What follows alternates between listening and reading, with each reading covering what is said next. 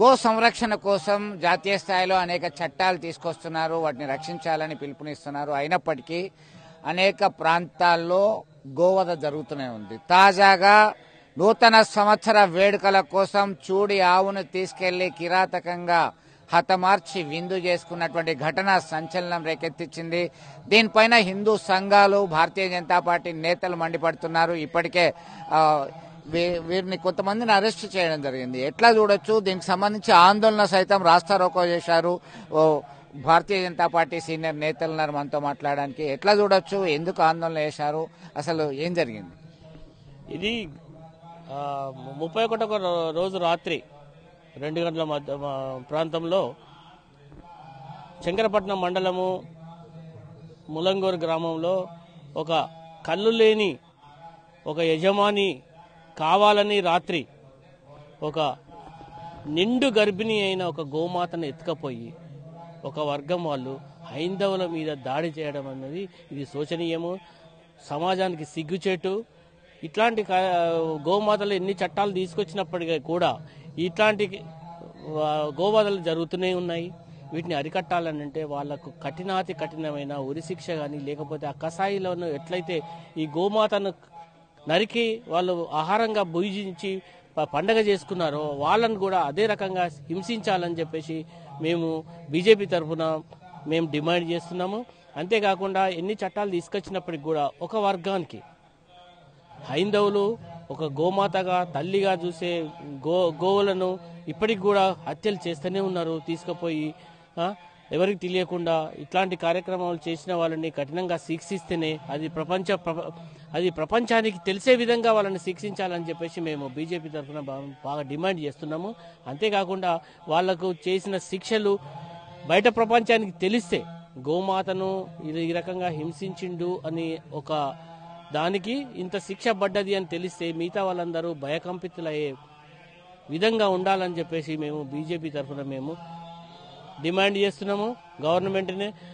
మీకు చేసిన చట్టాలను ఇంప్లిమెంట్ చేయమడం అని మేము డిమాండ్ చేస్తున్నాము. అంటే వాళ్ళు ఇప్పటికే ఆ నిందితులను అరెస్ట్ చేసినామని చెప్పి చెప్తున్నారు పోలీసులు. ఎట్లా చూడొచ్చు? సో ఇలా అందరినీ అరెస్ట్ చేస్తున్నారు వదిలిపెడుతున్నారు. ఈ రకంగా కాకుండా బాహ్య ప్రపంచానికి గోమాతను హత్య చేస్తే ఈ రకమైన శిక్ష ఉంటుంది. ఈ రకమైన భయకంపితులు కావాలి గోమాతను ముట్టాలి అని అంటే అన్న దృష్టిలో మేము నిన్న రాస్తారోకో చేయడం జరిగింది. దానికి విశేష స్పందన జరిగింది. చాలా మంది దాన్ని అభినందించిండ్రు. గోమాతను హత్య చేసిన వారిని చాలా కిరాతక కిరాతాతి కిరాతకంగా ఉరిదీయాలి లేకపోతే ప్ర- ఉన్న చట్టాలను ప్రతి దాన్ని ఇంప్లిమెంట్ చేయాలన్న దాని మీద ప్రతి ఒక్కరూ మాకు అభినందించడం జరిగింది.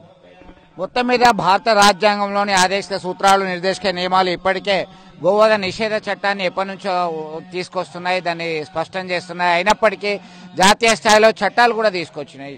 అయినా ఇట్లాంటి గోవధ అనేది కొనసాగుతూనే ఉన్నది. అక్రమ ఘోర ఘోరవాన జరుగుతుంది. అనేక సందర్భాల్లో గోరక్షణ సమితి వాళ్ళు పర్యవేక్షిస్తున్నారు. హిందూ సంఘాలన్నీ కూడా అప్రమత్తంగా ఉన్నాయి. అయినప్పటికీ ఇట్లాంటి ఘటన జరగడం అనేది శోచనీయమని చెప్పి వారిని ఉరి తీయాలని చెప్పేసి డిమాండ్ చేస్తున్నటువంటి పరిస్థితి మీరు ఎట్లా చూస్తారు దీనికి సంబంధించి? గోరక్షణ సమితి వాళ్ళు లేకపోతే హిందూ సంఘాలు కొందరికే పరిమితం కాకుండా ప్రతి ఒక్కరికి తెలిసే విధంగా దీన్ని మీడియా ముఖ్యంగా ఏంటంటే మీడియా వారు చేతులు ఎత్తి దండం పెట్టి చెప్తున్నాం. ప్రతి మీడియా హైలైట్ చేసి కఠిన శిక్షలు ఉండేటట్టు. వాళ్ళకు చూలు ఆవును కట్ చేసి తిన్నారంటే వాళ్ళు ఎంత నరకం అంటే నరహంతకులు వాళ్ళు. వాళ్ళకు పాపం విషయం ఏముండదు. వాళ్ళ మనసులో కూడా తినే రకం ఆ టైప్ వాళ్ళు. అట్లాంటి కఠిన శిక్ష వేయాలి. ఫ్యూచర్లో వాళ్ళని చూసి దాన్ని మీడియా హైలైట్ చేయాలి. హైలైట్ చేసి ఇంకొకటి జోలికి పోకుండా చేస్తేనే దానికి న్యాయం జరుగుతుందని మేము భావిస్తున్నాం. సో కరీంనగర్ జిల్లా శంకరపట్నం మండలం మొలంగూరులో ఈ గోను అపహరించి వధించి భుజించడం అనేది చాలా శోచనీయం. అంతటి వారిని కఠినంగా శిక్షించాలి. ఇట్లాంటి శిక్షలు ఇంప్లిమెంట్ చేయడం ద్వారానే మరొకరు గోవుల జోలికి రాకుండా ఉంటారు. అట్లాంటి భయాన్ని అట్లాంటి శిక్షలు విధించాల్సినటువంటి అవసరం ఉందని డిమాండ్ చేస్తున్నటువంటి పరిస్థితి. వీడియో జర్నలిస్ట్ సుమన్తో కలిసి Chandrashekar RTV Karimnagar. Thank you